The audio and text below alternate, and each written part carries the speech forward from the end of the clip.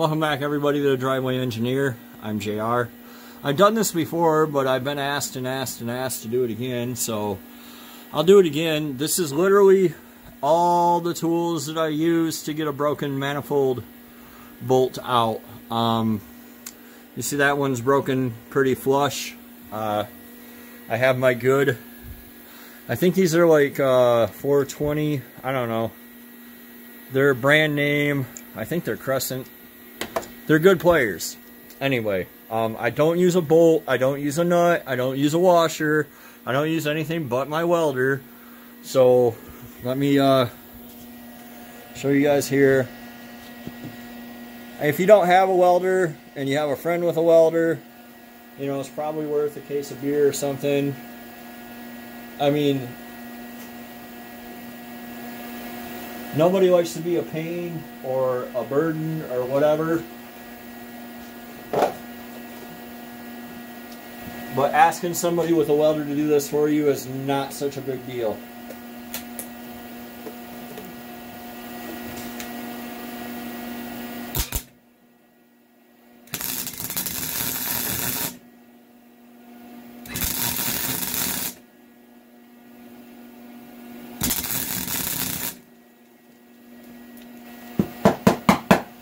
Uh, don't keep oily rags around while you're welding, because then you'll have a fire.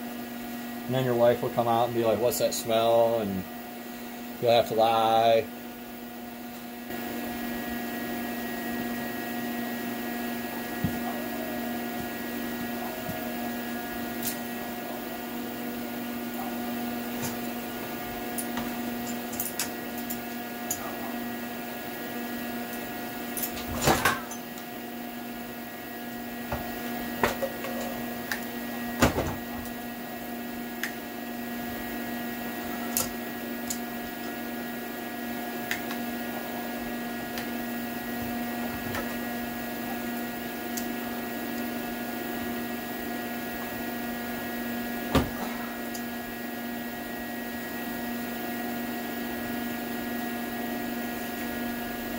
It again.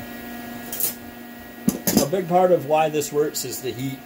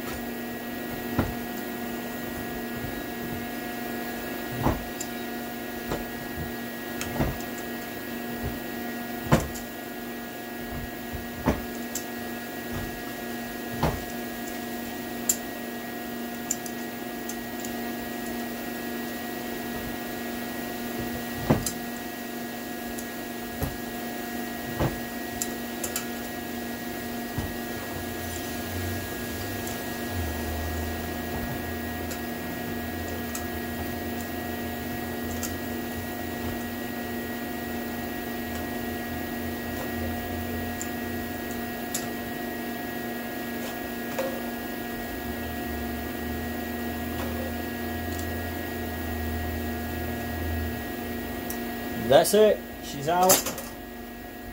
Um, I don't know how long that took me, three minutes or something. I'll go ahead and flip this over. Because I know in the comments, people are going to be like, what about your deck surface, your deck surface, your deck surface? Because I drug it all over, all that crap. It's fine. Um, everything's fine. Nothing wrong with my deck surface. Nothing wrong with anything. Nothing wrong with this hole. You can clean that flange up a little bit and she's ready to go for another 300,000 miles. So, until next time, this is JR. Thanks for watching. And that's how you get your busted manifold bolts out on your LS. See ya.